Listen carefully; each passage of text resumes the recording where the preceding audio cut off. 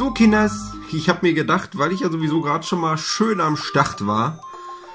Oh, dieses Geflimmer, ne? Ähm, ja, Einsatzende wäre schön gewesen. Habe ich mir gedacht, ich mache gleich mal mit Lex dem Zweiten weiter. Wenn ich denn schon mal hier bin, muss ich das quasi auch nutzen.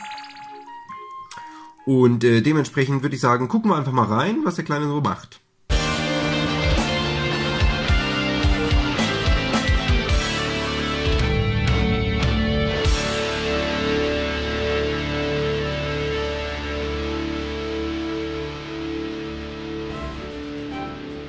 Und wie wir es erwartet haben, steht er noch an genau der gleichen Stelle wie beim letzten Mal. Das Geflimmer finde ich ziemlich ekelig, aber naja, ist dann halt immer so, gell?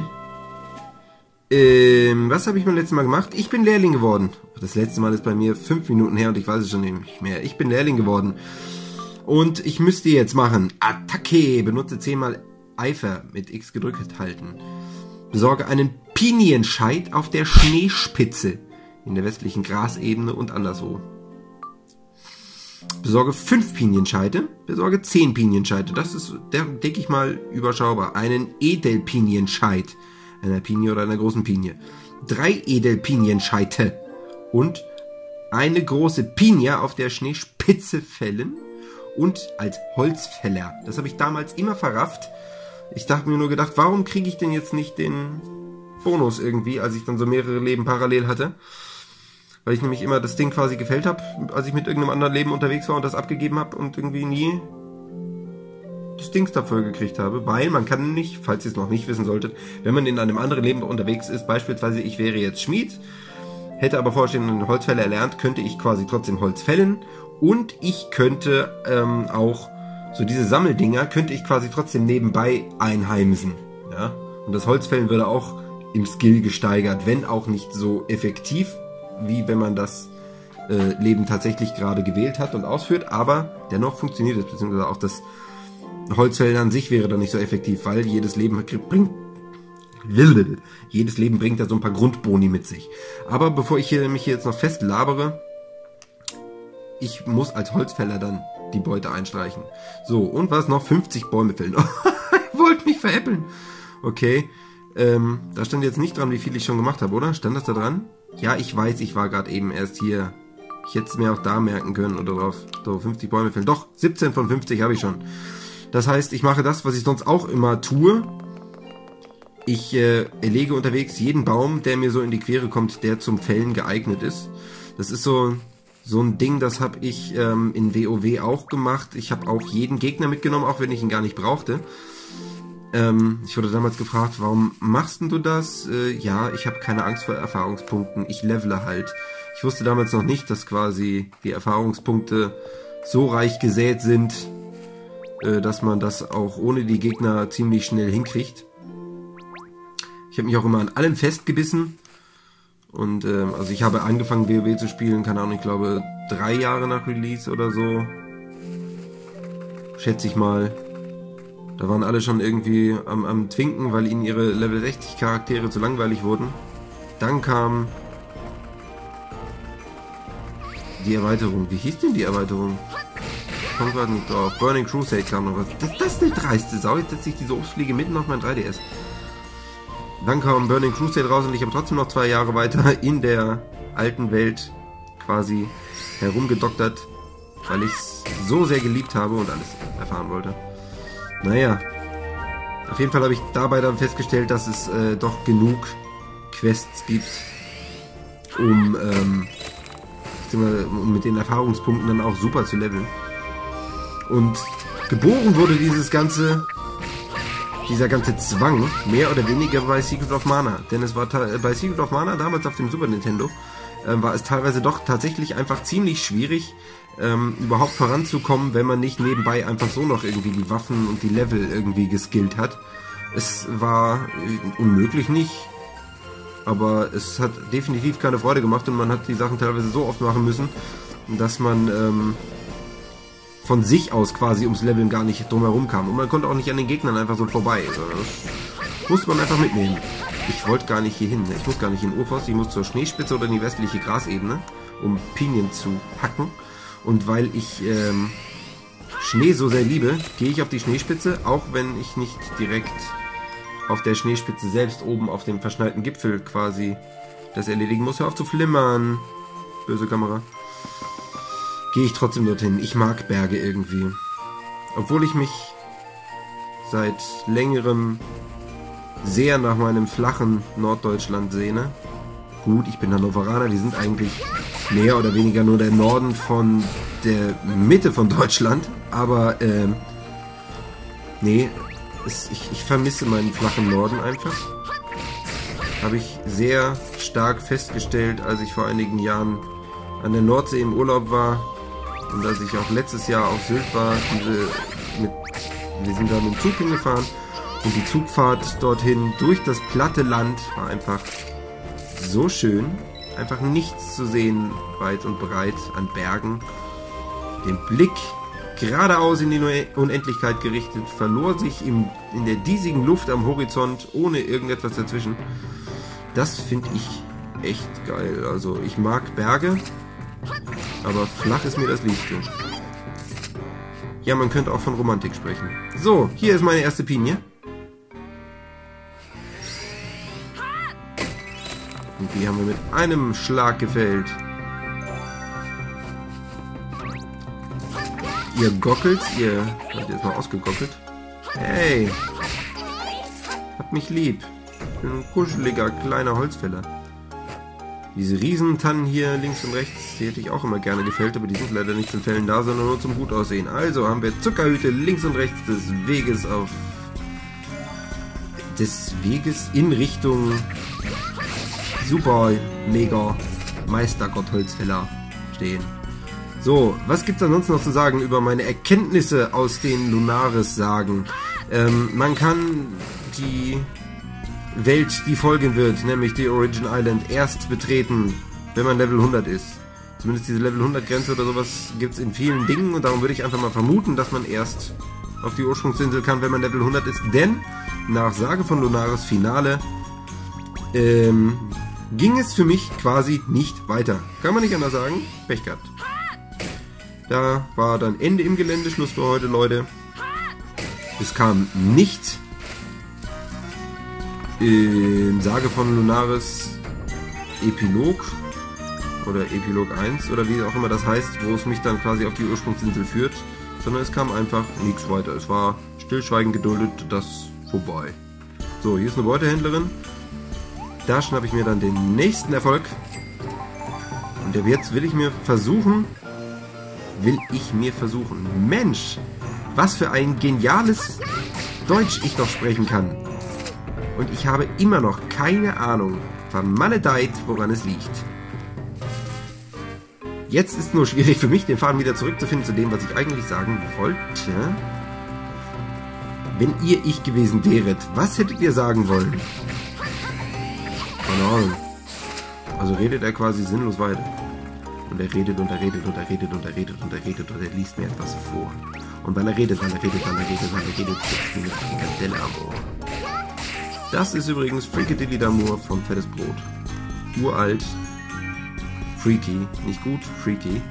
So, für diejenigen, die es nicht wissen, ihr könnt mit L und R die Kamera drehen und wenn ihr das tut, stellt ihr fest, dort steht noch eine Schatztruhe.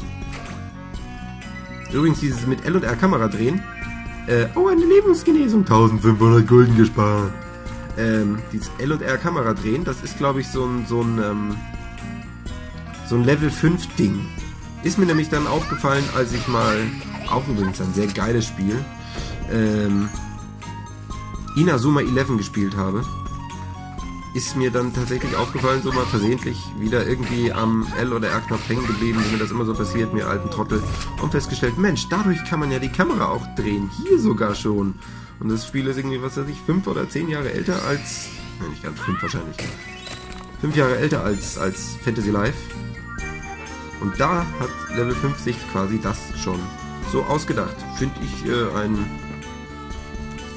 non-relevant Fact, aber irgendwie witzig. Nee, witzig auch nicht. Ich finde es einfach. Ich habe gedacht, hey, jetzt wisst ihr das auch. Ihr wolltet das wahrscheinlich gar nicht wissen. Ich weiß immer noch nicht so genau, was ich jetzt eigentlich gerade tue. Ja, ja, ja, ja. Schön brav.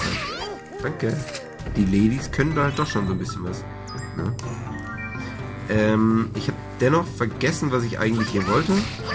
Vielleicht fällt es euch ja gleich wieder ein.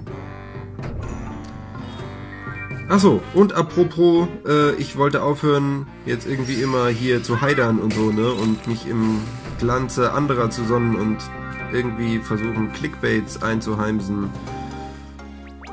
Obwohl ich das eigentlich auch nicht so okay finde.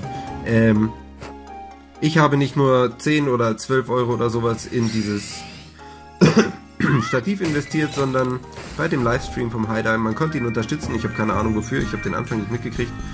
Und es wurde ehrlich gesagt auch nach einer Stunde ziemlich schleppend. Ich habe ihn dennoch mit 5,55 Euro unterstützt. Wie das ausgesehen hat, erfahrt ihr jetzt. Ja, das ist sehr lieb. Mr. Kanua, 55. Hey, vielen Dank für die Stunde des herzhaften Lachens, aber auch der Bildung. Dankeschön. Für viele Stunden, nicht die Stunde. Ja. Dankeschön. Paddy Shepard, Er hat meinen Namen ausgesprochen. Er liebt mich. Und warum ich das getan habe, war tatsächlich auch wieder so ein Ding wie von wegen, beachte mich. Und äh, als ich mir das dann gestern aufnahm, habe ich noch gedacht so, hä, nein, anders. Als ich darauf wartete, dass er am Ende diejenigen vorliest, die ihn unterstützt haben im Laufe dieses Videos, habe ich gedacht, ey, du bist ganz schön armselig, dass du sowas versuchst. Dementsprechend habe ich es dann natürlich dennoch aufgenommen, habe mich dann aber beim darauf warten dazu entschlossen, dazu zu stehen, es euch jetzt gezeigt zu haben und dann damit jetzt echt aufzuhören. Ne? Ich bin halt nur das, was ich bin und damit bin ich jetzt auch mal zufrieden, weil dieses Gespeichelecke nur um beachtet zu werden oder sowas, finde ich peinlich und kleinlich. Also, das ist nichts. Dennoch, er hat meinen Namen gesagt. Er hat meinen Namen gesagt. Und wenn man das jetzt mal aufsummiert, 5,55 Euro für den Heider, plus ich habe noch ähm, die äh, Überweisungsgebühren per PayPal quasi für ihn übernommen, hör auf zu flimmern. Äh, waren es quasi irgendwie 6 Euro oder sowas, Pinienplage. Edelpinienschärfe von einer großen Pinie. Äh, was wollte ich sagen? Ach ja, genau, ich habe die paar Cent Überweisungskosten PayPal für ihn übernommen. Das macht dann 5,97 Euro. Das Ding hier waren, glaube ich, 12 Euro oder sowas, macht 18 Euro. Und an dieser Stelle flitze ich jetzt mal kurz los. Zeit für einen kleinen Schnitt für euch. Ich hole mir noch kurz vorher die paar Gulden. So. Ja, ja, ja, ja. Ist ja gut. Ist ja gut. Moment. So, und zurück aus dem Schnitt ähm, wollte ich eigentlich nur sagen, das war quasi mein Taschengeld für diesen Monat und jetzt folgt ein weiteres Non-Legendary Unboxing, denn ich habe beim eBay-Händler meines Vertrauens vom Geld jemand anderes, von, jemand, von dem Geld von jemand anderem, heißt das dann vom Geld jemand anderes? Jemand anderes Geld. Jemand anderes Geld. Die Deutschstudenten unter euch können mir da sicherlich weiterhelfen. Toll, jetzt habe ich es extra aufgeschnitten und krieg's doch nicht auf, dann machen wir es kaputt. Ist mir wurscht. Ist mir eigentlich nicht wurscht, ich finde das immer doof, aber gut, machen wir es jetzt. Vom Geld von jemand anderem.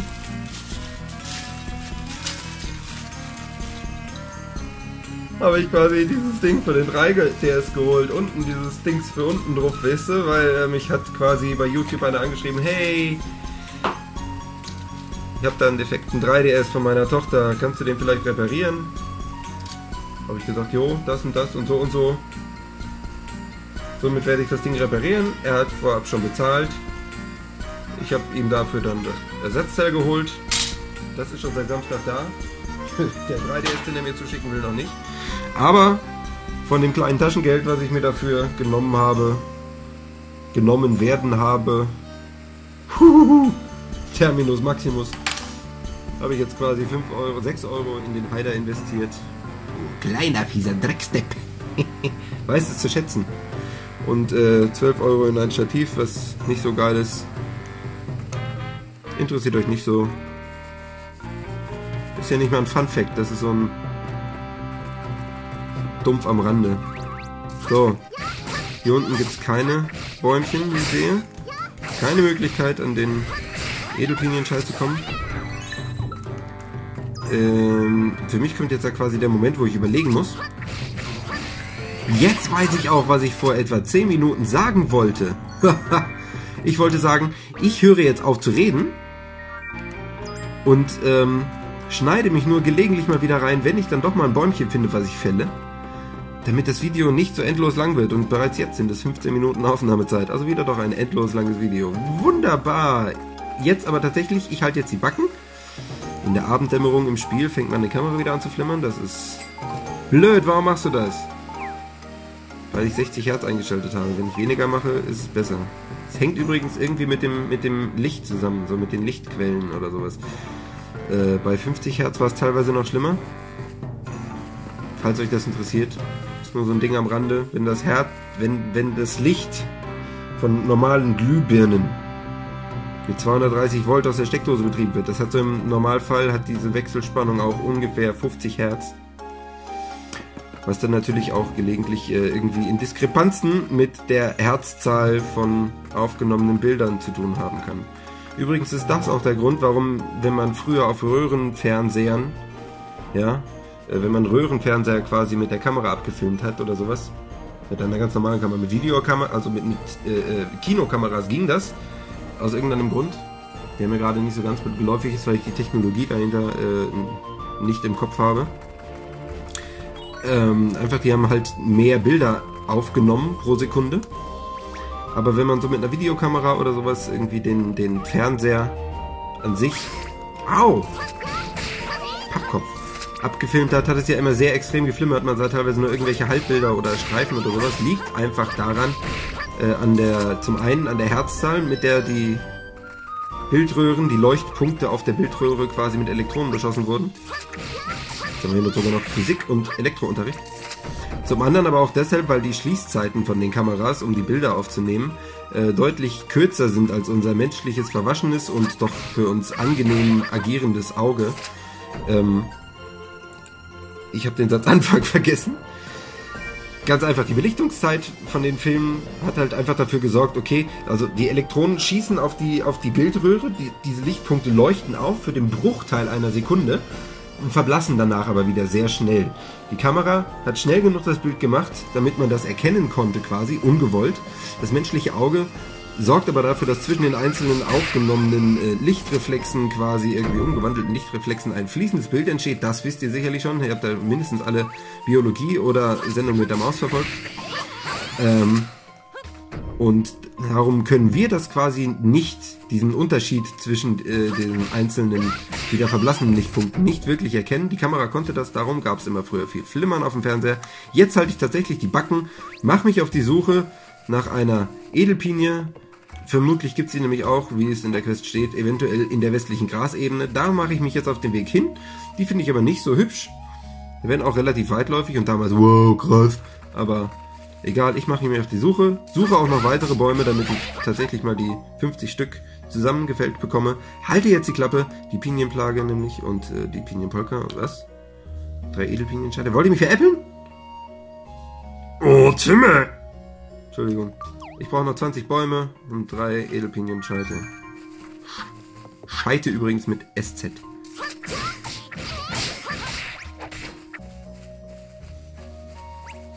Es ist beweiskräftig dokumentiert. Ich bin jetzt hier mindestens drei Minuten sinnlos in der restlichen Grasebene rumgerannt, um endlich mal ein Bäumchen zu finden. Es ist sogar tatsächlich eine Pinie, was mir jetzt aber auf Anhieb nicht so richtig viel weiterbringt, weil es garantiert kein Edelpinienscheid dafür geben wird sondern nur Piniennüsse. Oh. Nicht nur einmal Scheite gibt es. Nicht einmal normale Scheite. Und während ihr nun fleißig äh, nicht warten musstet, weil ich instant quasi die nächste Aufnahme machen kann, weil ich äh, irgendwie nach 10 Minuten dann doch endlich mal eine Pinie gefunden hatte, kann ich quasi gar nicht sagen, wie sehr es mich nervt, dass es in der gesamten westlichen Grasebene gerade mal zwei Pinien zu finden gab.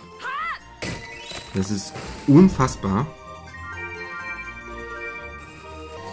Aber eigentlich wollte ich auch noch einen Satz zu dieser ganzen äh, Geschichte mit dem mit den Bildröhren, Fernseher, Schrägstrich. Äh, früher waren die Bildschirme ja auch noch aus Röhren hergestellt, äh, nachschieben während mir der Akku meines Telefons mitteilt, dass er nur noch 9% hat. Ähm, Ich habe keine Ahnung, ob es wirklich Elektronen waren. Ich glaube, es waren tatsächlich Elektronen, die da auf die Bildröhre geschossen wurden. Aber äh, für den Fall, dass äh, ihr tatsächlich nicht so genau wisst, wie das vonstatten ging, äh, kann man dazu quasi noch sagen, so ähm, warum dieses Flimmer dann immer von oben nach unten durchlief, ist einfach, dass äh, irgendwie aus irgendeinem Grund die Wicklungen, die hinten äh, am Ende der Bildröhre quasi dick und fett ausgeführt gewesen sind durch wechselnde anliegende Spannungen quasi dafür gesorgt haben, dass die, ich nenne sie weiterhin Elektronen, die äh, auf die Bildröhre, auf die Bildfläche, die Leuchtfläche geschossen wurden, quasi permanent umgelenkt wurden und immer von oben nach unten, dann nächste, dann nächste, dann nächste. Was quasi bedeutet, pro leuchtendem Bildpunkt nur ein Elektron bitte, ja. Und wenn ihr so ein bisschen aufgepasst habt in Physik, was ich nicht getan habe damals, ähm, bedeutet das, dass dieses ganze Umgerichte von, von der, der Abstrahlung, von dem Abstrahlwinkel, von der Abstrahlposition dieser kleinen elektronischen Teilchen meines Erachtens ja tatsächlich so, so im Nanosekundenbruchteil irgendwo gelegen haben muss oder sowas. Ne? Also von daher Hut ab an diejenigen, die sich das überlegt haben, dass es so gut funktionierte. In ganz früher und danach. Und äh, Während ich mir hier quasi ordentlich auf die Mütze geben lasse, habe ich im Hintergrund quasi eine große Pinie gesehen, die gerne äh, mich beschenken würde mit irgendetwas in einer Beutekiste. Keine Ahnung, warum sie vorhin nicht da war oder ob ich einfach daran vorbeigelaufen bin, weil ich hier nur Fische gesehen habe. Aber hier ist endlich mal eine große Pinie, das muss doch mal was hergeben. Zackig. Ich mache mir nämlich echt ein bisschen Bang um meinen Akku. Das ist wieder blöd. Ich habe im Vorfeld noch drüber nachgedacht, habe gedacht, naja, für ein Video wird reichen. Und was macht er? Er macht zwei Videos. Ganz toll. Und er labert die ganze Zeit, das heißt, er muss die ganze Zeit aufnehmen. Was auch wieder ätzend ist. Hier sind auf jeden Fall noch ein paar Pinien. Es ist auch übrigens ätzend zu schneiden. Und ich kann euch nicht mal sagen, wann euch dieses Video ungefähr erreichen wird, denn das hätte ich im letzten Video machen müssen. Sagen müssen, das nächste Video dauert länger, weil äh, ich werde mich verlabern und verhaspeln. Und noch während ich mein dusseliges, unqualifiziertes Gelaber Freihaus an euch versandte, brach die Aufnahme ab wegen der magischen Unterschreitung der noch viel magischeren Hör auf zu flimmern 4% Grenze des Akkus. Und dieser dusselige Penner hier, der zerboxt mir meine Beutekiste. Oh Mann! Ich könnte ihn töten, wenn er nicht schon tot wäre. Oh, Timmy. Ich mag jetzt weinen. Das ist der Fail, der mein Leben ist. Immer wieder der gleiche schöne... Mann. Na toll, 100.000 Gulden verdient. Könnt mich ärgern. Könnt mir ins Bein beißen. Das Ding da sagt, es hat noch halb Akku voll. Das ist ja immer schon mal gut, aber ich weiß nicht, wie lange das hier alles noch durchhält mit meiner ganzen Technik, bis die SD-Karten voll sind. Boah, wie ich mich ärgere. Ich geh jetzt heim und penne. Habe ich jetzt davon. Aber unterwegs zum Pennen habe ich natürlich noch immer genug Zeit für den einen oder anderen Baum. Und ich ärgere mich so dermaßen. Ich könnte ausrasten, ich könnte... So, und frisch dem Gasthaus entstiegen, Hör auf zu reden. Nämlich wieder ins Werk. Und ich kann mich quasi glücklich schätzen, dass ich mein eigenes Pferd habe. Dann ist der Weg wenigstens nicht so weit. Und ich ärgere mich trotzdem noch. Oh Mann. Und natürlich lasse mir es, lasse ich es mir wieder nicht nehmen, diesen Baum hier jetzt schön ins Jenseits zu befördern. Er kommt mir gerade recht, weil ich so wütend bin. Holzfällen Level 4. Ja, prima. Was habe ich davon? Kann ich mir davon was kaufen? Der ist mit einem Edelpinienschein. So, absitzen, drauf da. Dann werden jetzt erstmal so ein paar Gockel geschlachtet. Dann werden Pinien umgeholzt in der Hoffnung, dass irgendwo hier noch eine große Pinie steht. Dann hoffe ich mal, dass sie auf Anhieb instant irgendwie der Meinung ist, komm, dir gebe ich jetzt noch mal drei Edelpinienscheide auf einmal.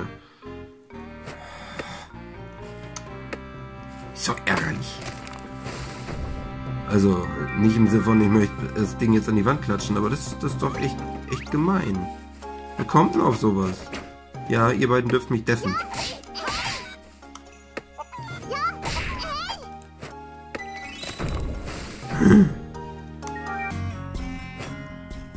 Hier steht natürlich keine große Pinie jetzt, ne?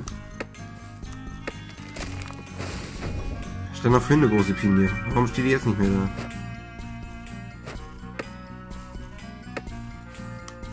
Kann mich ärgern. Ja, 50 Bäume gefällt. Ja, prima. Das haben wir schon gehabt. Und das ist.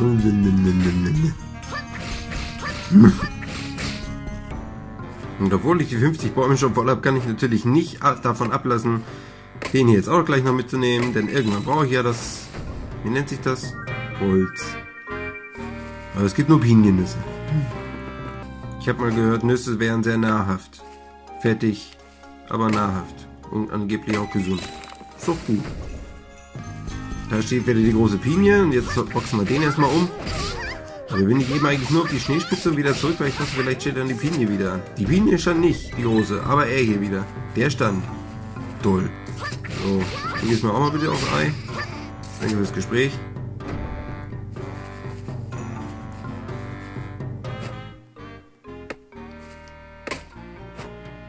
Hacke, Hacke. Auch mal irgendwann gesagt, ne? Hacke, Hacke, Hacke, Hacke, Hacke, Hacke. Ach, egal ich muss ja quasi jeden Baum mitnehmen, denn es gibt ja dann irgendwann so ein Ding wie von wegen äh, äh, Fälle insgesamt 500 Bäume oder sowas. Ich habe schon Erfahrung. Du legst dich jetzt in Staub und weh, du gibst mir keinen Edeldings. Oder drei.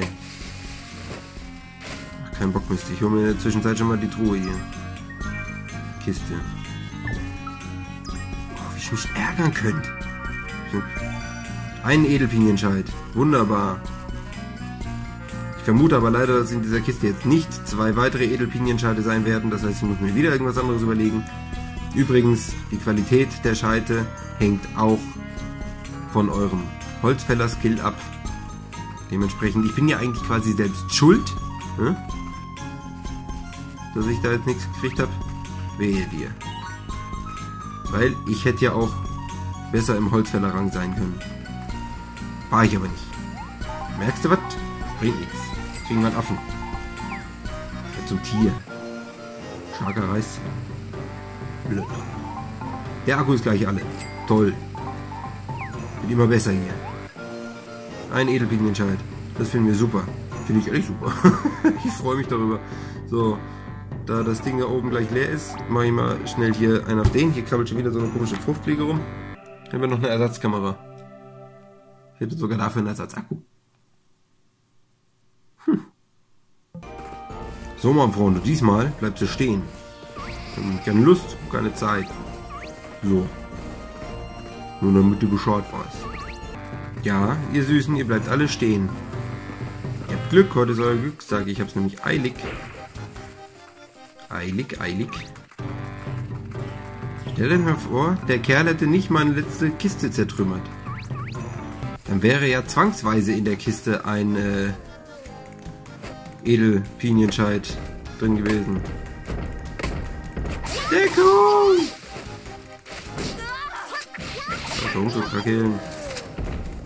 So, 500 Edelpinienscheide.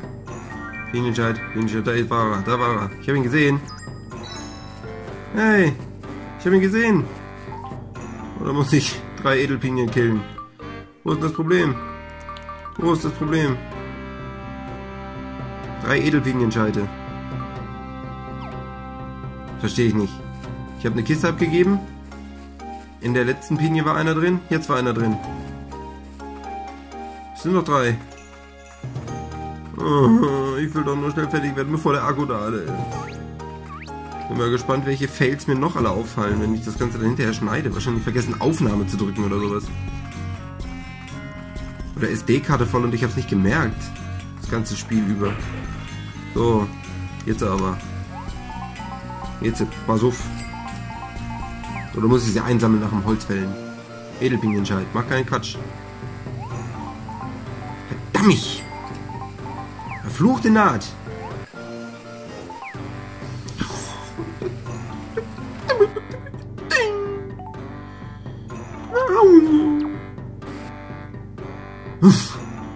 Für diejenigen, die es noch nicht wissen, was ich hier gerade mache, ist äh, so diese, diese Bossgegner und in diesem Fall auch die Bossbäume oder sowas, die tauchen nicht einfach auf, wenn mal Tag und mal Nachtwechsel ist oder sie tauchen nicht auf, wenn ähm, ihr aus dem Raum, also quasi aus dem Territorium rausgeht und wieder reingeht, wie das bei normalen Gegnern so ist, sondern die tauchen nur nach dem Schlafen wieder auf.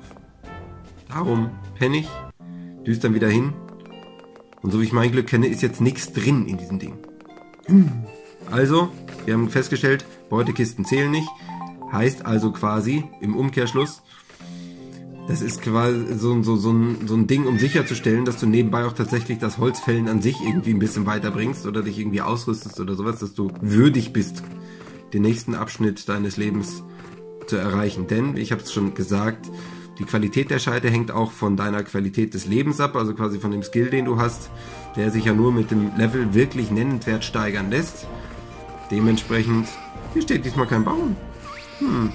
Ähm, dementsprechend, wenn mein Skill soweit fortgeschritten ist oder weit genug fortgeschritten ist, gibt es auch diese Edelscheite häufiger, nennenswert häufiger. Ich wüsste jetzt noch nicht, wie viel ich da zu nennen hätte, aber nennenswert häufiger. Der Akku zeigt rot, ich muss mich beeilen, weniger labern. Dementsprechend äh, hätte ich jetzt deutlich mehr Skill, wäre das Ganze schneller abgefrühstückt. Dann hätte ich vielleicht sogar zwei Edelscheite drin. Aber, da es hier um Auslese geht, kurz zurück an den, irgendwo in die Mitte des Satzes, den ich eben gesagt habe. Hätte ich mehr Skill, könnte ich wahrscheinlich auch von den normalen Pinien gelegentlich Edelpinienscheite holen, aber egal. Bleib, wo du bist. Ich habe keine Zeit für dich. Mietz, mietz. Ja, ich weiß. Ihr habt keine Zeit, ich habe keine Zeit. Wir haben alle keine Zeit. Nein! Jetzt sag mir bloß noch, ich bin am Eingang von dem von der scheiß Schneespitze dran vorbeigelaufen. Soll ich hier brechen oder was? Da war ein Edelpinch. ich lach mir ein Ei. So, so viel dann zum Thema Skill. Äh, Karte. Meister, ja, hin. Gleich ist der Akku voll. Ich bin auch gleich leer. So, danke fürs Gespräch. Komm, Hayo, ich will plaudern, bevor der Dings vorbei ist. Ich will berichten. Und zwar bin ich hier König der Holzfäller. Im letzten Video habe ich noch aus Reflex ein Bild von meinem nächsten Lebensrang gemacht. Das werde ich jetzt nicht machen. Doch, werde ich auch wieder machen. Mal gucken, vielleicht benutze ich das als Thumbnail oder was. Das würde ja irgendwie passen zum Thema, ne? Von daher, ratatatatam, bada, neuer Rang. Ich bin Geselle. In diesem Sinne, bis zum nächsten Mal. Vielleicht bin ich dann klüger. Tschüss. Oh, was könnte ich mich ärgern? Timme. Ja, ich weiß. Heilhacker. Hacke, Hacke, Häuslebauer. Hacke, Hacke. So, ich gehe jetzt speichern, dann ist Tschüss. Das Speichern guckt euch nicht mehr an. Hm. Da es ja mit steigender Anzahl der Videos auch einfacher wird, das Ganze irgendwie sinnvoll zusammenzuschneiden. Ist ja nicht so, dass ich dann wieder für jedes einzelne dieser Videosequenzen die Latenz ausbügeln muss. Und bei dieser Videolänge ist es auch nicht innerhalb von einer Dreiviertelstunde geschafft das Video zu konvertieren und dann mal schnell zu gucken, nein, ich muss es immer über 15 Stunden konvertieren. Und dann schubsen. Das Video kriegt also erst in drei Wochen. Mmh. Speichern. 11 Stunden 20. Scheine. Level Up habe ich auch noch gehabt. Ich gehe jetzt ins Bett. Fixte Nadi. Meine. Heide out.